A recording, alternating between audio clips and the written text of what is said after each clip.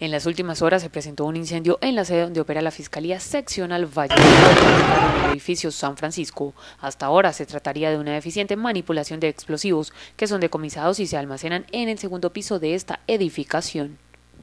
Al respecto, Alberto Hernández de Gestión del Riesgo de Bomberos Cali.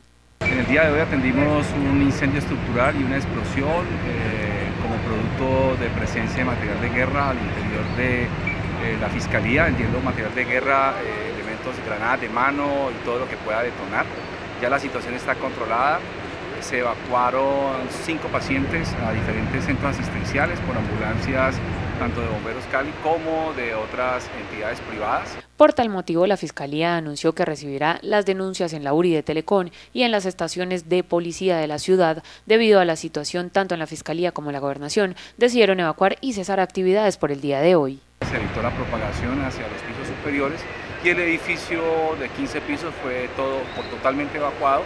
No hay personas en riesgo en este momento y básicamente las lesiones o las, digamos, lo, lo que motivó la atención de estas personas fue crisis nerviosas y alguna inhalación de humo. En otros hechos, al sur de la ciudad, estudiantes de la Universidad del Valle bloquean el paso por la avenida Paso Ancho, al igual que en los sectores de Ciudad Jardín y Jardín Plaza.